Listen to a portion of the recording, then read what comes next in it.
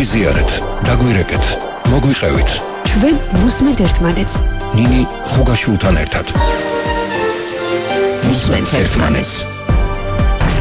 საღამშიდობისა მოგესალმებით. თქვენ უსმენთ რადიო იმეც მე ნინი ხუგაშვილი ვარ და ღიეთერში გთავაზობთ პროექტს. ვუსმენთ ერთმანეთს. დღეს წინას არჩევნო კვლევების შესახებ ვისაუბრებთ და გთავაზობთ ინტერაქტივი შეკითხვას ენდობით თუ არა წინას არჩევნო კვლევებსა და რეიტინგებს ოქტორი პოზიციის გამოხატვა შეგიძლიათ ღიეთერში ნომრებზე 292 1188 292 1199 გერმანულ-ამერიკული ორგანიზაცია JFK-ის მიერ ჩატარებული კვლევების მიხედვით შემდეგ კვირას რომ საპრეზიდენტო არჩევნები ტარდებოდეს გამოკითხულთა უმრავლესობა ხმას კლავ გიორგი მარგველაშვილს მისცემდა. შეკითხვაზე შემდეგ კვირას რომ საპრეზიდენტო არჩევნები ტარდებოდეს, ვის მისცემდით ხმას? საბოლოო ჯამში შედეგები გადანაწილდა შემდეგნაირად: გიორგი მარგველაშვილი 12.6%, დავით ბაქრაძე 9.9%, მიხელ სააკაშვილი 7.1%, პაატა ბურჯულაძე 5.4%, ირაკლი ალასანია 5%, შალვა ნათელაშვილი 3.1%, გიორგი კვირიკაშვილი 2.6%, ბიძინა ივანიშვილს ხმას 2% მისცემდა გამოკითხულთა საერთო რაოდენობით და ნინო ბურჯანაძესაც 2%, ირაკლი ღარიბაშვილს 1.1%. ამასთან შეკითხვაზე თუ ჩავთვლით, რომ 8 ოქტომბრის საპარლამენტო არჩევნებში მონაწილეობთ, რომელ პარტიას მისცემდით ხმას, რესპონდენტთა 7.8%-მა პაატა ბურჯულაძე სახელმწიფო ხალხისთვის დაასახელა, 6.2% ფიქრობს, რომ 8 ოქტომბრის საპარლამენტო არჩევნებში მონაწილეობის შემთხვევაში ხმას თავისუფალ დემოკრატებს მისცემდა. თემაზე სასაუბრო დღე ეთერში ვთავთ ექსპერტ პოლიტიკის საკითხებში ვახტანგ ძაბირაძეს. მოგესალმებით ბატონო ვახტანგ, მადლობა რომ იღებთ გადაცემაში მონაწილეობას. რამდენად მოგეცეთ ბატონო ვახტანგ ამ კვლევის შედეგების გაცნობის შესაძლებლობა და როგორ ფიქრობთ, რას ნიშნავს ის მონაცემები, რომელიც ტელეკომპანია რუსთავიორის დაკვეთით ჩაატარა გერმანულ-ამერიკულმა ორგანიზაციამ?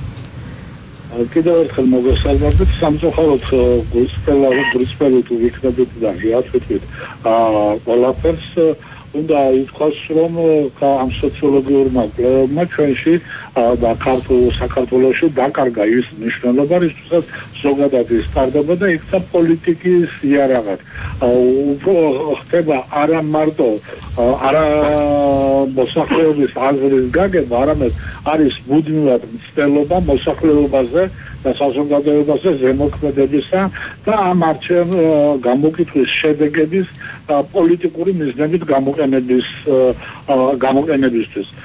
ასეთი მიდგომა ვერც ამჯერად ავიცილეთ თავიდან და თავისთავად ეს ფაქტი რომ უკვე რუსთავი ვორმა თავად განაცხადა რომ მისი შეკვეთილი იყო ასე ვთქვათ ამ კლევის ჩატარება ისე იმას რომ ეს საკმაოდ დიდი დოზით შეიცავდა პოლიტიკურ ელემენტს ხოლო თუ იმ შედეგების მიხედვით ვიმჯერებთ რა გამოგვეყნებულია ხო და თუ ამ შედეგებს ძალიან მარტივი ანალიზი გავაკეთებ და პირველი 4-ეული დაუშვათ პოლიტიკური პარტიებისა და როგორც დაალაგდა და ჩავცვლით სულაც ერთი წუთით რომ ასეთი შედეგები რეალურია და შესაძლოა ეს შედეგები დაждდეს ასე ვთქვათ ოქტომბრის არჩევნებში ეს იმას ნიშნავს რომ ნაციონალური მოძრაობა კოალიციურ მთავრობას ქმნის და მოდის ძალაუფლებაში.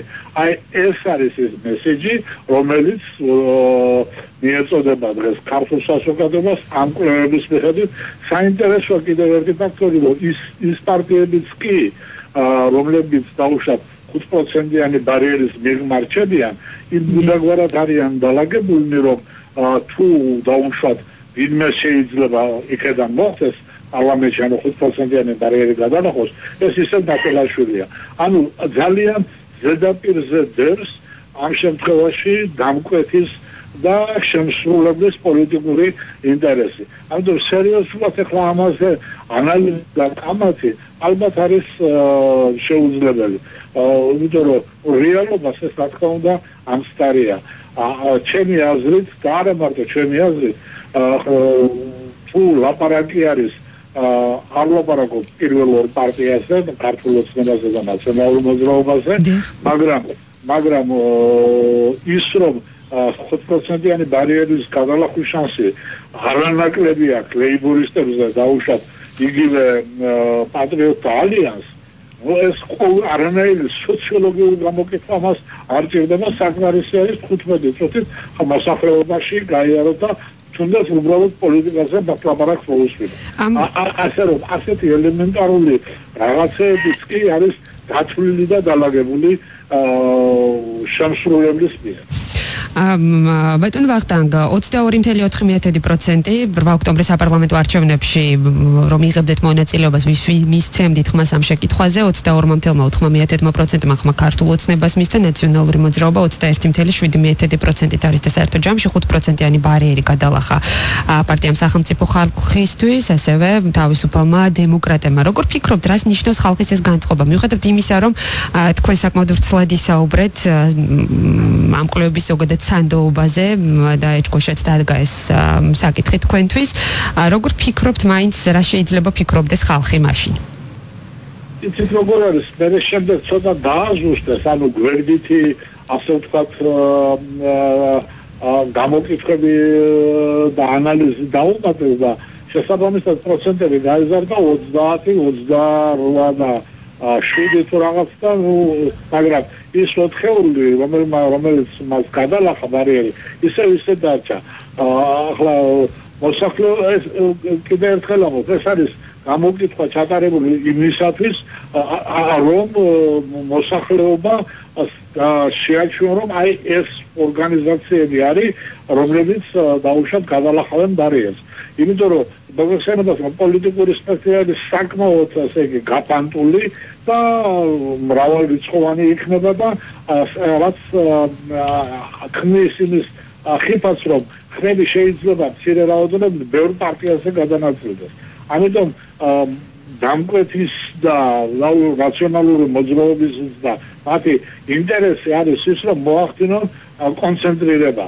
მარტო ორ პარტიაზე კონცენტრირება მათ რა თქმა უნდა ხელს არ აძლევს. ამიტომ დაამატებს კიდევ ორი, მაგრამ მათთვის სასურველი პარტიები და წინასწარ ქნიან ფონს, რომ აი ეს აი ამ 4-ში 4-ში მოხდეს არჩევა და განარჩენები ხმის მიცემა დაკარგული ხმა. აი ამის დამკვიდრებას ცდილობენ ჩემი აზრით. შესაძლოა კიდევ რაღაც დაამატონ, მაგრამ ძირითადი ლაიტმოტივი ამ ამ გამოკითხვისა არის აი ეს და არა ის რომ მართლა საზოგადოებაში არსებული განწყობები გამოავლინო. იმიტომ რომ საზოგადოებაში განწყობები რა თქმა უნდა არ არის ასეთი აღთვალებული საზოგადოება იგივე ხელისუფლების მოქმედებით, მაგრამ ის რომ დაუშვათ ეს ოთხი პარტია რომელიც გადალახავს ბარიერს და დანარჩენებისადმი კიდე ერთხელ ამბობ არაფერი საზოგადოება რა თქმა უნდა არა მაქვს ბურჭულაძის პარტიასთან და თავისუფალ დემოკრატებთან მაგრამ წარმოუდგენელია უბრალოდ თუნდაც ადგილობრივი არჩევნებიდან გამომდინარე რომ პატრიოტთა ალიანსმა ვერ გადალახოს ბარიერი ან 2% კონდეს ასევე დინო ბურჯანაძემ და მისმა პარტიამ ასე რომ ეს რაოდენობა პარტიებისა ჩემი აზრით საკმაოდ დიდია, რომელსაც შანსი აქვს 5%-იანი ბარიერის გადალახვის და არ არის იმ ვიწრო ჩარჩოში მოქცეული. ალბათ კიდევ დამეთანხმებით იმაშიც, რომ ნაციონალურ მოძრაობას დაუშვათ არც პატრიოტთა ალიანსის დეპუტაციის გასვლა აწყობს პარლამენტში და არც ბურჟანაძის. აი, უღრმესი. აი, მათ შეარჩიეს თავიანთვის უფრო მისაღები და ეს ნახლა ჩანს აი შედეგებში რა შედეგები გასაგები უღრმესი მადლობა. ვახტანგ ზაბირაძე საუბრობდა ექსპერტი პოლიტიკის საკითხებში ღიეთერში ჩვენ თემაზე კომენტარი ვთხოვეთ ბაქარ ბერეკაშვილს ექსპერტს პოლიტიკის საკითხებში რომელიც ტელეფონის მეშვეობით გვერდება მოგესალმებით ბატონო ბაქარ. მადლობა რომ იღებთ გადაცემაში მონაწილეობას ბატონო ბაქარ ვახტანგ ზაპირაძე საუბრობდა ღიეთერში, რომელმაც ამ კვლევის შედეგების სანდოობა დაატენა ეჭქვეშ. გესმით ჩემი ხმა ბატონ ბაქარ? დიახ, დიახ, დიახ, დიახ, თუ შეგიძლიათ გითხრათ თქვენ რას ფიქრობთ ამ კვლევის შედეგებთან დაკავშირებით მაგალითად 8 ოქტომბრის საპარლამენტო არჩევნებში ქართულ ოცნებას ხმა გამოკითხულთა 22.1%-მა მისცა ნაციონალურ მოძრაობას 21.7%, პატა ბურჭულაძის სახელმწიფოს ხალხისთვის 6.2%-ით გადის უკაცრავად 7.8 და თავისუფალ დემოკრატებს 6.2%-ი აძლევს ხმას. რას ფიქრობთ ამ შედეგებთან დაკავშირებით? დიახ. ესე იგი, ჩემი აზრით ეს არის ესე იგი გარკვეული იმ ორგანიზაციის შესრულებული, რომელსაც პირველი კითხვა გვაქვს, რომ არის მეთოდოლოგია, რომელსაც ნიშნავს ორგანიზაცია. ჩვენ არ ვიცით ეს მეთოდოლოგია თვითონ რა მეთოდოლოგიით განისაზღვრებოდა თვითონ. ყველა ამიტომ პრინციპში სანდოობა რა თქმა უნდა თული არ ვენგო. რა თქმა უნდა ასეთ ყველებს, იმიტომ რომ ძალიან ბევრი კვლევა ტარდება, რომელიც რეალურად რომელიც რეალურად ძალიან რთული არის თქვათ რომ თქვათ აი მე ასახავდეთ სინამდვილეს იმიტომ რომ ყველა სხვა დამკვეთის უკან დგას გარკვეული ინტერესები. გასაგებია, ბატონ ბაქარ, ასეთი ფორმით დაკომპლექტების შემთხვევაში როგორ ფიქრობთ თქვენ, რას ვარაუდობთ, როგორ განვითარდება მოვლენები თუ ასეთი ფორმით დაკომპლექტდა პარლამენტი? აა, ესე იგი, ძალიან მნიშვნელოვანი არის რომ თქვათ, დაფონდა პლურალიზმი, პოლიტიკური პლურალიზმი არის ძალიან მნიშვნელოვანი, მაგრამ აა, თქვათ, ის ის პოლიტიკური პარტიები, რომლებიც წარმოდგენილი არის იმ კვლევაში ძალიან რთულია რომ მოვიაზროთ პარლამენტში ჩემი აზრით და ავით იგივე ბუჭანაძის პარტია ბუჭულაძის პარტია ან ასე შემდეგ. ძალიან რთულია ამ მოაზრება. და თქვენი აზრით როგორ გადანაწილდება მონაცემები რადგან ამ თქვა კლევის შედეგების სანდოობას თქვათ ნდობას არ უცხადებთ როგორ გადანაწილდება მონაცემები მაშინ თქვენი აზრით? როგორც საპარლამენტო არჩევნებში ასევე საპრეზიდენტო არჩევნებსაც გულისხმობს სადაც გიორგი მარგველაშვილს 12.6% აძლევს ხმას და ასევე დასახელებულია დავით ბაქრაძე მიხელ სააკაშვილი პატა ბურჯულაძე ალასცენია შალვა ნათელაშვილი კვირიკაშვილი ბურჯანაძე და ღარიბაშვილი. აა ხო თულია თქვა ერთი რაღაცა ნამდვილად შეიძლება ითქვას რომ ვთქვათ მიხელ სააკაშვილი ძალიან ცოტა შანსი აქვს საერთოდ რომ რაიმე პროცენტები აიღოს ამ კვლევის ფოტოშორის ვალიდურობას და საერთოდ სანდოობაში ისიბადებს ეს რომ სხვა სააკაშვილი დაახლოებით 7% იყო თუ მეტი ხო? 7.1%-ია ხო არ ვიცი კი ბატონო ანუ ესე იგი მე ვფიქრობ რომ რაღაც მარგველაშვილი ძალიან მაღალი რაღაც ნდობით არგებლობს საზოგადოებაში სწორსა რამაზის და მაგრამ განსაკუთრებით აი ეს სხვა შედეგები რომელიც აისახებოდა ასე მიხელ სააკაშვილის პოპულარობის თვალსაზრისით კიდევ ერთხელ პადესეში ჩვენ უნდა დავინახოთ ეს კვლევა როგორც თქვა კონკრეტული მედია ორგანიზაციის რომელსაც აქვს პოლიტიკური წესრიგი ეს არის რუსთავი 2 უნდა დავინახოთ როგორც კონკრეტული პოლიტიკური ასე ვთქვათ ინტერესების მატარებელი ჯგუფის დაკვეთა. და მეთოდოლოგია არის ძალიან მთავარი ამ მეთოდოლოგიის ხარგებლობდა დამკვეთი ხო და რა მეთოდოლოგიის ხარგებლობდა შემსრულებელი პროფესორად ხო სიმართლე გასაგებია დამკვეთი ხო რა შეიძლება მეტად წარმოაჩინოს ნაციონალური მოძრაობის შეიძლება უპირატესობები არა, მაგრამ თქვა რაღაცა შანსები, პერსპექტივები, ხო? გასაგებია. ესეთ კლუბები, რა თქმა უნდა, წინა გამოსვლაზე თანხმები ბუნები უამრავი კლუბა ტარდება, უამრავი ამ კლუბის უკან დგას გარკვეული ინტერესი და კლუბები განსაკუთრებული ამით არაფერი არის და ეს რაღაცა უნდა გვახსოვდეს ყოველთვის საზოგადოებას, ვინ დგას კლუბის უკან, ვინ არის დამკვეთი. გასაგებია, უღრმესი მადლობა. უღმესი მადლობა ბაქარ ბერეკაშვილი ექსპერტი პოლიტიკის საკითხებში საუბრობდა ღიეთერში წინას არჩევნო კვლევების შესახებ საუბრობთ დღევანდელ გადაცემაში ინტერაქტივზე ინტერაქტივში ჩართულობით უკვე გელოდებით გადაცემის მეორე ნაწილში. უსმენთ ერთმანეთს საღამშვიდობის ამ მოგესალმებით კიდევ ერთხელ განვაგრძობ დღეეთერში მუშაობას თქვენ უსმენთ პროექტს უსმენთ ერთმანეთს და დღეს საუბრობ წინას არჩევნო კვლევების შესახებ. ენდობით თუ არა წინას არჩევნო კვლევებსა და რეიტინგებს ეს გახლავთ ინტერაქტივი შეკითხვა. თქვენ შეგიძლიათ დაგვიკავშირდეთ ნომრებზე 292 1188 292 1199 და რადიო მედიის ეთერში ხიეთ გამოხატოთ საკუთარი პოზიცია ამ თემაზე. გერმანულ-ამერიკული ორგანიზაცია GFK-ის მიერ ჩატარებული კვლევების მიხედვით შემდეგ კვირას რომ საპრეზიდენტო არჩევნები ტარდებოდა ეს გამოკითხულთა უმრავლესობა ხმას გიორგი მარგველაშვილს მისცემდა. შემდეგ მოდის დავით ბაქრაძე, მიხელ სააკაშვილი, პატა ბურჯულაძე, ირაკლი ალასანია, შალვა ნათელაშვილი, გიორგი კვირიკაშვილი, ბიძინა ივანიშვილი, ნინო ბურჯანაძე და ირაკლი ღარიბაშვილი. ხოლო 8 ოქტომბრის საპარლამენტო არჩევნებში ქართულ ოცნებას ხმას გამოკითხულთა 22.4%, ნაციონალურ მოძრაობას კი 21.7% მისცემდა. ამასთან შეკითხვაზე თუ ჩავთვლით, რომ 8 ოქტომბრის საპარლამენტო არჩევნებში მონაწილეობთ, რომელ პარტიას მისცემდით ხმას, რესპონდენტთა 7 მამთელმა 8%-მა პაატა ბურჯულაძის სახელმწიფო ხალხისთვის დაასახელა 6.2%-ი ფიქრობს, რომ საპარლამენტო არჩევნებში მონაწილეობის შემთხვევაში ხმას მისცემდა თავისუფალ დემოკრატებს. 5%-იანი ბარიერის მიღმა აღმოჩნდა ლეიბორისტული პარტია, პატრიოტთა ალიანსი, ირმა ინაშვილი, ნინო ბურჯანაძე, დემოკრატიული მოძრაობა ერთიანი საქართველოსთვის, რესპუბლიკური პარტია, ახალი საქართველოს გიორგი ვაშაძე, პოლიტიკური ცენტრი გირჩი, საქართველოს გზა, სალომე ზურაბიშვილი, თავისუფალი საქართველოს კახაკუკავა, კლუბების მიხედვით ეროვნული ფორუმის მხარდაჭერა პატარა 0.1%-ით განისაზღვრა. გერმანულ-ამერიკულმა ორგანიზაციამ JFK-მ კვლევა რუსთავიორის დაკვეთით ჩაატარა. საინტერესოა რას ფიქრობს ამ თემაზე პიერისა და საზოგადოებრივი კომუნიკაციების სპეციალისტი არჩილ გამზარდია, რომელსაც ტელეფონის მეშვეობით დღე ეთერში ვთავ, თქვენ ასევე გექნება შესაძლებლობა რომ დაგვიკავშირდეთ და მიიღოთ ასევე ინტერაქტივში მონაწილეობა. არჩილ გამზარდია, გვერდთვება დღე ეთერში, მოგესალმებით ბატონო არჩილ. მოგესალმებით, მოგესალმებით თქვენს მსმენელს. მადლობა რომ იღებთ გადაცემაში მონაწილეობას. პირველ რიგში ენდობით თუ არა წინას არჩევნო კვლევებსა და რეიტინგებს, თუ შეიძლება რომ გავხსეთ ამ შეკითხვაზე პასუხი, რომელიც გახლავთ ინტერაქტივისტვის განკუთვნილი და შემდგომ უკვე რას ფიქრობთ თავად იმ პროცენტულ მაჩვენებელზე, რომელიც შედეგის სახით დადო დღეს რუსთავიორმა.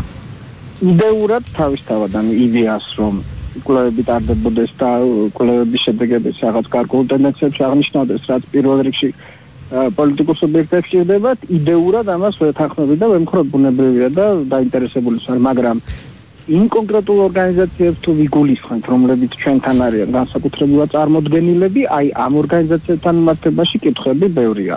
მაგრამ თუ კიდევ უფრო დავაზუსტებ და აი ამ ბოლო კლევის შენკვეთიდან გამომდინარე ინტერესების მიხედვით ვიმსჯელებ, თავისთავად ამ შემთხვევაში ჩვენ უფრო იუმორის ხასიათი შეიძლება დავდგეთ, ვიდრე სერიოზულად დავიწყოთ ამის განხილვა. ხო თქვენ წარმოიდგინეთ რუსთავი 2-ის მიერ დაკვეთილი სოციოლოგიური კვლევა. ეს თავისთავად რას ნიშნავს, რომ ესე იგი ეს კვლევა რუსთავი 2-ს ჭირდება ფართო საინფორმაციო პროპაგანდისტული ტექნოლოგიის გამოყენების კუთხით, არა? შესაბამისად, ამ ინფორმაციის ფუნქცია ერთადერთი არის ის, რომ პროპაგანდისათვის გამოიყენოს ნიუსმეიკინგში, რაღაცა საინფორმაციო პოლიტიკაში და ასე შემდეგ. აი ეს არის ძირითადი მოტივი რისთვისაც ეს კვლევა იქნა დაკვეთილი, იმიტომ რომ კვლევის პრინციპი თავისთავად უნდა ჩამჯდარიყო რუსთაველის ინტერესი. რუსთაველის ინტერესი თავისთავად ნაციონალური მოძრაობის საარჩევნო ტექნოლოგიებში პროპაგანდისტული მოტივების მქონე. რას უკავშირებთ მაშინ შედეგების ასეთი ფორმით გადანაწილებას?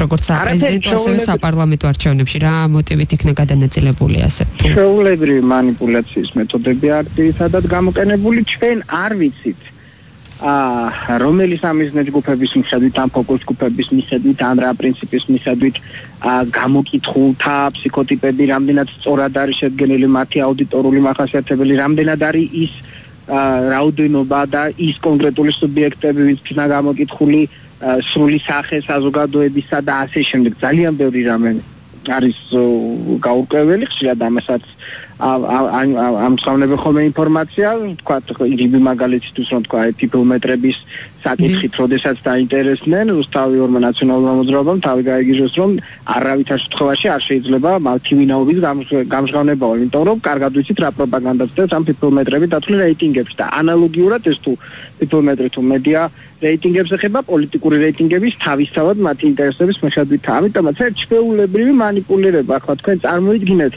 დღეს კვირიკაშვილი, ანუ რა არის, მაგალითად კვირიკაშვილის რაღაცა მე-5 მე-6 ადგილზე ყოფნა, რომელიც თავისთავად გვაჩვენებს, რომ რუსთავის იუმორშიც კი მაინც და მაინც არ აქვს მაღალი მოწოდების სიმაღლეზე არ არიან, იმიტომ რომ ღევანდელი რეიტინგი კვირიკაშვილის აი იმ საზოგადოების იმ ნაწილშიც კი რომლებიც ქართული ოცნების მიმართ ნეგატიურად და კრიტიკულად არიან განწყობილები კვირიკაშვილის შემთხვევას განსაკუთრებულად და განსხვავებულად შეაფასებენ პოზიტიურ ჯერში ამიტომაც ის მოათავსო რაღაცა მეათე ადგილზე თავისთავად ეს ის პროპაგანდის ნაწილი. და ყველა ის მაჩვენებელი რაც თქვენ ჩამოთვალეთ რომ ბურჯანაძე ვეშა ბურჭულაძე და თავისუფალი დემოკრატები ბარიერს ზემოთ Uh, ვინც ნაციონალურ მოძრაობასთან ბევრად უფრო რაღაცა პოზიტიურ წრევში ან პერსპექტიულ ურთიერთობებშია, მაგრამ uh, ნაციონალური მოძრაობის მკვეთრი მოწინააღმდეგეები ყველა ბარიერს ქვემოთან. თავიდან ბოლომდე ეს არის პროპაგანდა და манипуლირება. არჩილ, მაშინ როგორ ფიქრობთ, როგორ გადანაწილდება მონაცემები თქვენი აზრით uh, საპარლამენტო არჩევნებში?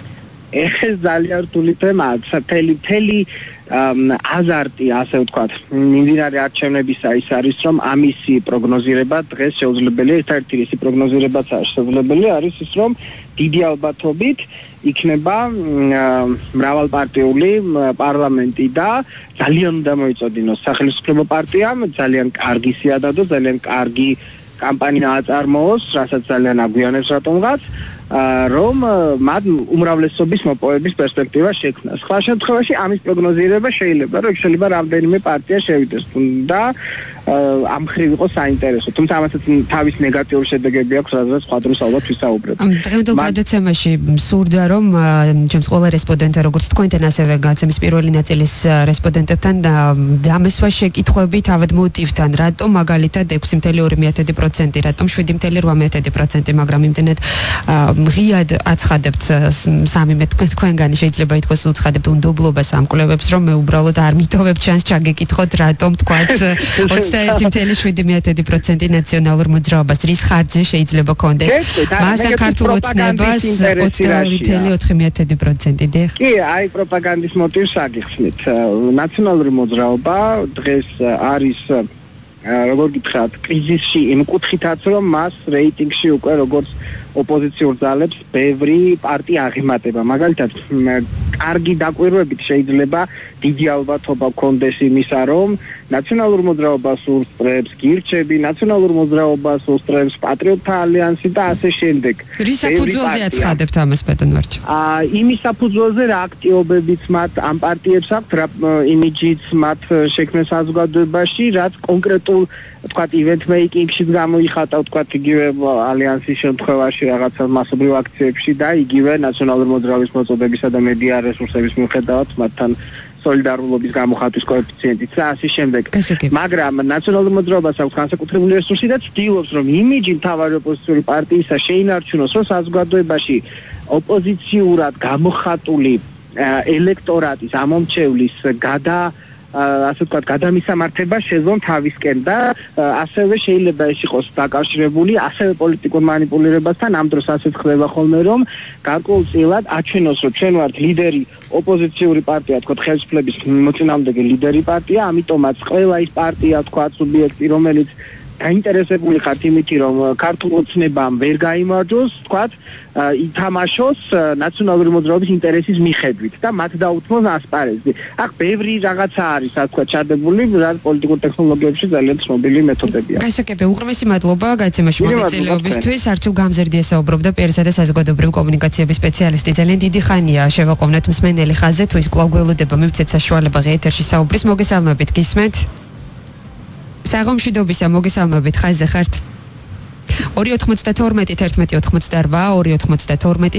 299 ბოდის უხდი ჩვენს მსმენელს შეყოვნებისთვის თქვენ შეგიძლიათ დაგვირეკოთ ამ ნომრებზე და მიიღოთ ინტერაქტივში მონაწილეობა ინტერაქტივის შეკითხვა შემდეგია ენდობით თუ არა წინა საარჩევნო კვლევებსა და რეიტინგებს ფაქტობრივად იწურება გადაცემისთვის განკუთვნილი დრო სულ რამდენიმე წუთია ალბათ ხომ დარჩენილი თქვენ გაქვთ საშუალება დარეკოთ ნომრებზე 299 და გამოხატოთ საკუთარი პოზიცია ენდობით თუ არა წინასაარჩევნო კვლევებსა და რეიტინგებს. გერმანულ-ამერიკული ორგანიზაცია JFK-ის მიერ ჩატარებული კვლევების მიხედვით, შემდეგ კვირას რომ იყო საპრეზიდენტო არჩევნები, გამოკითხულთა უმრავლესობა ხმას გიორგი მარგველაშვილს მისცემდა, შემ 12.6%-ით, შემდეგ მოდის დავით ბაქრაძე 9.9%-ით, მიხეილ სააკაშვილი 7.1%-ით, პატა ბურჭულაძე 5.4%-ით, ირაკლი ალასანია 5.0 ანუ 5%-ით, ჩალვანა თელაშვილი 3.1%-ით, გიორგი კვირიკაშვილი 2.6, ბიძინა ივანიშვილი 2%, ასევე ნინო ბურჯანძეც 2%, ირაკლი ღარიბაშვილი 1.1%. ორივე ხაზე გველდება მსმენელი, მოგესალმებით გისმენთ თქვენ ხართ დღეეთერში. მოგესალმებით გისმენთ. დიახ, დიახ, დიახ. ენდობით თუ არ ვენდობი, ნამდვილად არ ვენდობი. გასაგებია უღრმესი მადლობა დაკავშირებისთვის. შემდეგი მსმენელია ხაზე მოგესალმებით. გამარჯობათ. უბრალოდ სწორი იქნებოდა რომ გვეთქვა ნაციონალურ გერმანულ ამერიკული კომპანია რომელმაც გამოიკვლია ეს და დადო ეს შედეგები ნაციონალების სასარგებლოდ. და თქმა უნდა არ ვენდობით იმიტომ რომ მორიგი წინასაარჩევნო აფიორა რაც ნაციონალების სტილში და ღირებულებში ჯდება თავის დავაცხადია სწორედ თქვა არჩილ გამეზარდეამ რომ როცა ვერც ბურჯანაძე, ვერც პატრიოტთა ალიანსი, ვერც ლახავს და ვერც ბურჯალაძე კლასიკური ევროპული დემოკრატიის მომხრე ბარიერს დაარჩენოს ეს არის სრული აბსურდი და სრული კატასტროფა ნაციონალური მოძრაობის რამე თუ აცნობიერებს იმას რომ მამ პარტიებზე უფრო ნაკლები რეიტინგი ექნება ვიდრე ადრე ქონდა მას გაყალბებით მეშვეობა. გასაგებია უღრმესი მადლობა კიდევ ერთი მსმენელია ხაზე საღამომშვიდობის თქვენ ღიეთერში ხართ. გამარჯობა. გამარჯობა, მოგესალმებით. ენდობით წინასაარჩევნო კვლევებს და რეიტინგებს, რომელსაც გვთავაზობენ კვლევითი კომპანიები.